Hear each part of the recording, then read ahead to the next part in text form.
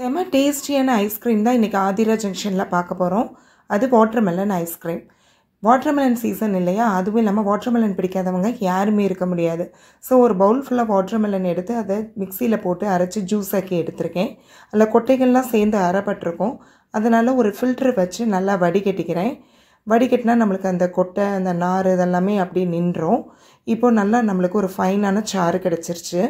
இப்போ ரெண்டு ஸ்பூன் அளவு கான்மாவு எடுத்து நார்மல் ரூம் டெம்பரேச்சரில் இருக்கிற தண்ணியை ஊற்றி கட்டி விழாமல் கரைச்சி வச்சுருக்கேன். வாட்டர்மெலன் ஜூஸை இப்போ அடுப்பில் நம்ம கடாயில் வச்சு நல்லா காய்ச்சணும். ஏன்னா இதில் வாட்டர் கண்டென்ட் தான் ரொம்ப அதிகம். இது அப்படியே நம்ம ஐஸ்கிரீம் செய்ய முடியாது.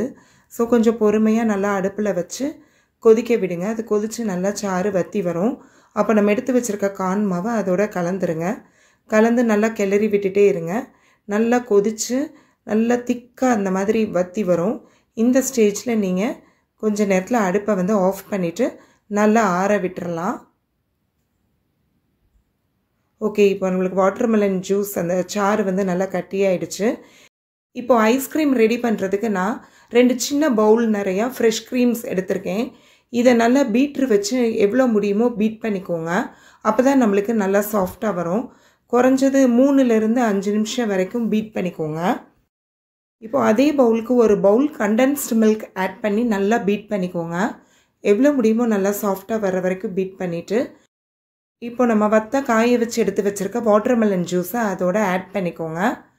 ஆட் பண்ணிவிட்டு இதையும் பீட்ரு வச்சு பீட் பண்ணாலும் ஓகே தான்.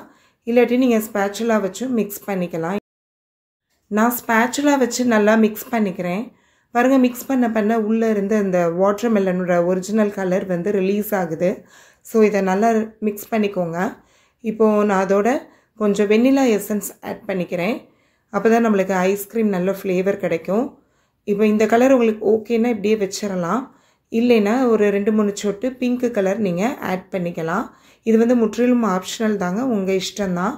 ஸோ இந்த மாதிரி வேணும்னா ஆட் பண்ணிக்கோங்க. ஆட் பண்ணிவிட்டால் நம்மளோட மிக்சர் ஐஸ்கிரீமுக்குரிய மிக்சர் வந்து இப்போ ரெடி ஆகிடுச்சு இதை வந்து நான் ஒரு கண்ணாடி பவுலுக்கு வந்து மாற்றிக்கிறேன் மூடி வந்து ஏர் டைட்டாக இருக்கணும். ஸோ இதோட கொஞ்சம் நான் கலர்ஃபுல்லாக இருக்கிறதுக்கு கொஞ்சம் முந்திரி பருப்பு கையாலேயே உடச்சி சேர்த்துருக்கேன். அதோட கொஞ்சம் டூட்டி ஃப்ரூட்டியும் ஆட் பண்ணிக்கிறேன். ஆட் பண்ணிவிட்டு இதை வந்து நீங்கள் மூடி வச்சு ஒரு சிக்ஸ் டு செவன் ஹவர்ஸ் நீங்கள் ஃப்ரீசரில் வச்சுருங்க.